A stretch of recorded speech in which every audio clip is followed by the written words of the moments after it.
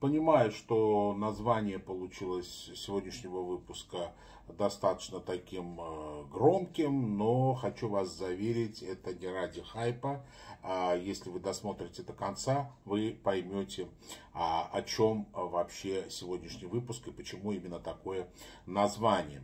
А пока хотелось бы поблагодарить всех тех, кто поддерживает канал Антитопор донатами, а, делая это с помощью Сбербанка, а, Boosty или Patreon а, подписаны на это. А, также благодарю за лайки, которые вы неохотно, но некоторые из вас ставят. А еще хочу напомнить, что моя книга «Записки странствующего армянина», первый том, еще есть в наличии.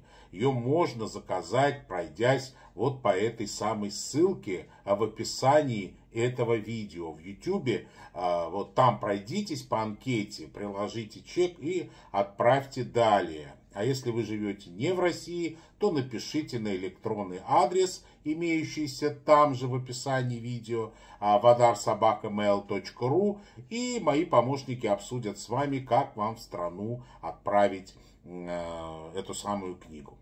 А, ну что ж, от всего сердца хочу поздравить Турцию с Нобелевской премией, которая ей, э, которую ей принес уроженец ее, армянин Дарон Аджемоглу.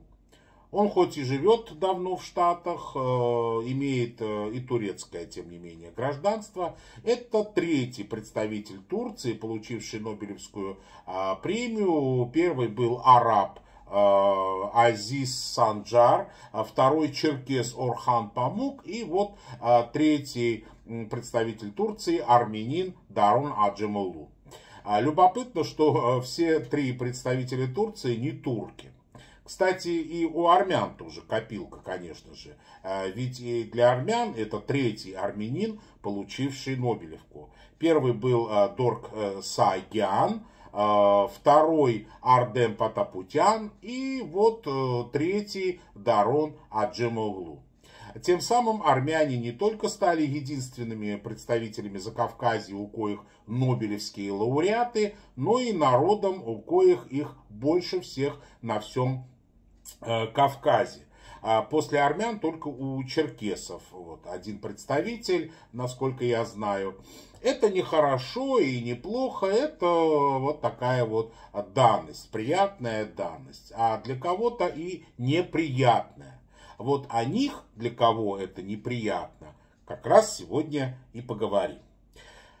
Наши самые древние умные соседи на Востоке, с которыми не были знакомы ни римляне, ни византийцы, а науки толку с них, как со слиного молока Муллына Средина, а все пытаются внести раскол между армянами и тюркскими народностями.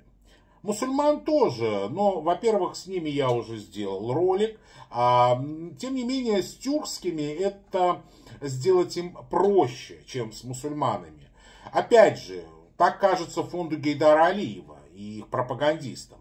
Но любопытно, э, что самая грамотная часть этого самого э, тюркского мира понимает разницу между э, армянами и азербайджанской пропагандой. А кто не понимает, тому советую посмотреть хотя бы этот выпуск до самого конца, э, проверить факты. Ну, мало ли, может я говорю неправду.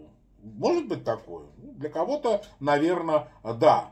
Тем не менее, э, сделать после этого, наверное, вывод, после того, как вы проверите, правду я говорю или нет, и ответить э, самому себе хотя бы на вопрос.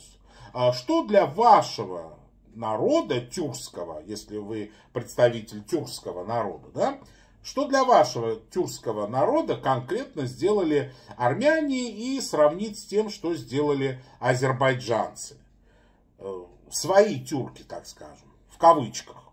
Тем более тюркский мир скоро собирается перейти на общий тюркский алфавит, основой которого является турецкий алфавит, созданный армянином из той же Турции, что и Нобелевский лауреат Агопом Мартаяном, или как его называют турки, Агопом Дилачаром.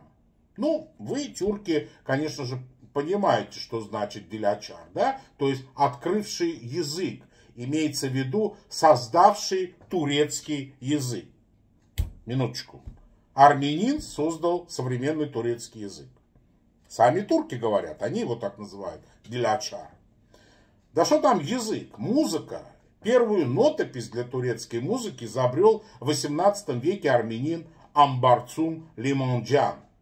Даже символ пантюркизма, который э, вам пихают изо дня в день, э, вот этот самый Учхилал, тоже придуман армянином из Турции Левоном Дабагяном, с почестью похороненным там же э, в Турции. И похороненный, кстати говоря, как бы не было это смешно, пантюркистами.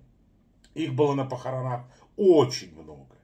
И вообще там много всего интересного. Но я на одной Турции-то зацикливаться не буду. И вообще неудивительно, что азербайджанцы только и делают, что подкупают, натравливают и прочее зависть к древней армянской культуре, которую азербайджанцы э, частично позаимствовали в виде музыки и кухни, история армян, все же накладывает на них грубый отпечаток. И это не сегодня родилось и не вчера. Известная запись Узира Гаджибекова, где он говорит о стремлении к знаниям армян и безразличия э, к этим же знаниям мусульман – так Гаджибеков называл азербайджанцев, так как они себя сами так называли мусульманами, а русские их э, кавказскими татарами. А потом э, советская власть, э, которая была против религии, решила переназвать их, этих самых мусульман, азербайджанцев, то бишь, в тюрок. И вот в школах Баку начали изучать уже тюркский язык. Э, до конца 30-х годов, пока им не присвоили новое название азербайджанец. То есть до этого они изучали мусульманский язык, то бишь нынешний, который азербайджанский, потом э, так называемый тюркский язык, э, потом уже только азербайджанский язык. Так вот, Гаджибеков, впрочем, не только он. Вот иллюстрация журнала Моллана Средин 1909 года, в котором автор Гурбангулы а, Шарифов делится своими впечатлениями после посещения армянского села Айлис, Агулис, и сравнивает его с мусульманским азербайджанским городом Ордубат. И то, и то в Нахичеване находятся эти, эти две местности. Иллюстрации говорят за себя, где армяне, а где кавказские татары. Автор пишет – Хочу отметить, что село похоже на э, ухоженный район Тбилиси. Красивые особняки, чистые улицы, много больших и красивых мостов, много школ, библиотек, читальных залов и зданий с потрясающим учебным э, оборудованием и убранством. Клянусь Аллахом, я окаменел, а люди неузнаваемые, как будто только что приехали из Франции – их одежда, их поведение, безупречная чистота. Говоря о чистоте, я имею в виду внешний вид людей. Я был поражен. Возвращаясь из Айлиса в Ордубат, я увидел, что в одном из домов снова читают молитву, и собравшиеся там мусульмане снова плачут. И мне очень хотелось спросить их, мои дорогие, почему вы плачете? Что с вами опять? Или вы уже поняли, что наши соседи, вооруженные просвещением, придут сюда, отберут все ваше имущество и превратят вас всех в своих слуг? И пусть никто не говорит, что это не так. Если вы обратите немного внимания на историю мировой культуры, вы поймете, что в конце концов так и будет. Как вы поняли, про Агулис он говорит об армянах, и про Ордубат он говорит уже о своих соплеменниках азербайджанцах, ну тогдашних еще только мусульман. Думаю, комментарии тут излишни, особенно а, с последним предложением. Если вы обратите э, немного внимания на мировую историю, э, культуру, то поймете, что в конце концов так и будет. Это то, о чем я вам рассказываю, когда езжу по миру и говорю о вкладе армян в мировую цивилизацию. А Азербайджан, скажем так, не Азербайджан, наверное, а вот конкретный вот этот азербайджанец показывает просвещенных армян, совершающих променад слева, и своих соплеменников, сидящих рядом с овечьим дерьмом справа.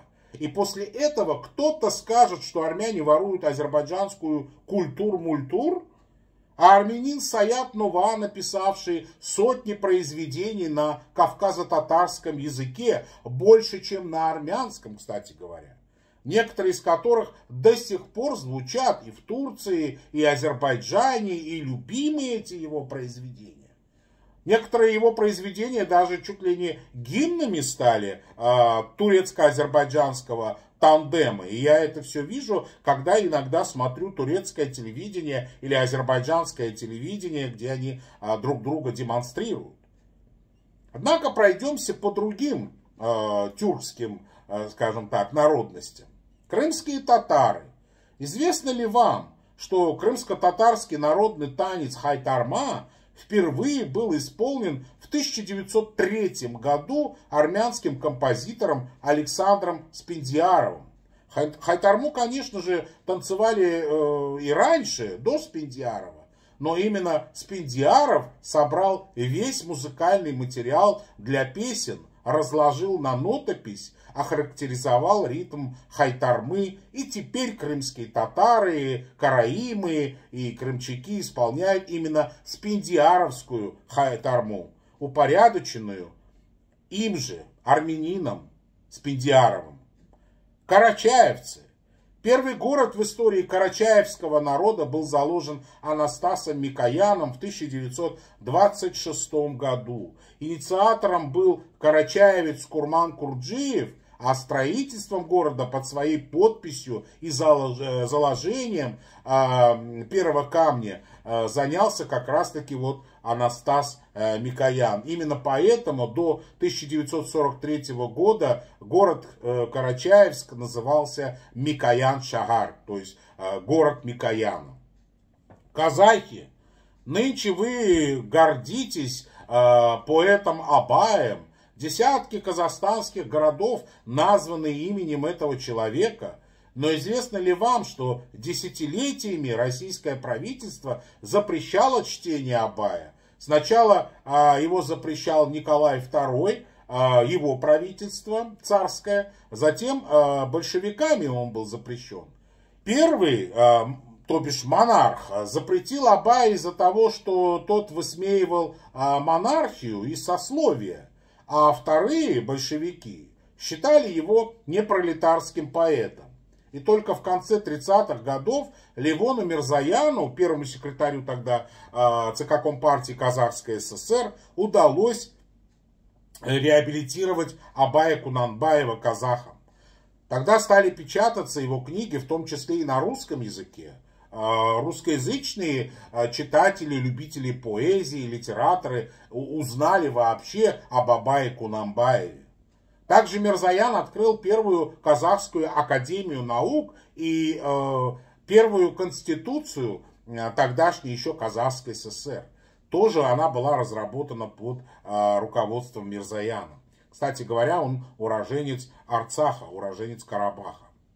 Узбеки и каракалпаки к вам теперь обращаюсь, а, прославила на весь мир и сделала брендом узбекский танец армянка Тамара Петросян, известная миру как Тамара Ханум. Кстати, ее корни тоже из Арцаха, из Карабаха. А сестра Тамары Ханум, Гуар, по-моему, так ее звали, законодательница каракалпакского танца и также прославила э, каракалпакские танцы Каракалпакистан по всему миру. Вы об этом наверняка знаете. Только, возможно, вы не знаете о том, что она была армянка, как и Тамара Ханум. Многие узбеки об этом не знали, пока она не умерла, пока на ее могилу не поставили крест. Все думали, что она узбечка. Вот так вот незаметно армяне э, трудятся, э, отдают весь свой талант, все свое время на благо других народов, не выпячивая свой народ. И это правильно. Туркмены, Павел Моровян, Виктор Авакян, Врам Мелик Пашаев, Григорий Габриэлянц, отцы, основатели туркменской нефти, благодаря чему в том числе э, Туркменистан э, и сегодня живет э, на этом самом э, нефти, на газе. Там же в Туркменистане Эдиса Сарвазян стала законодательницей туркменской оперы и балета. До тех пор это было, пока Туркменбаши Ниязов э, не упразднил. Кыргызы, Усик Аракелян и Георгий Баграмов – те ученые-агрономы, благодаря которым в суровых условиях Кыргызстана стали произрастать сочные фрукты и овощи. Ведь Кыргызстан это не только Ферганская долина, где все это произрастает. Большая часть Кыргызстана это все-таки горы, причем высоченные горы. И в первой половине 20 века именно вот эти вот ученые, армяне, агрономы отправили э, отправились в этот край осваивать это хозяйство. Э, край кочевников, кыргызов, обучать их овощеводству и плодовочному хозяйству.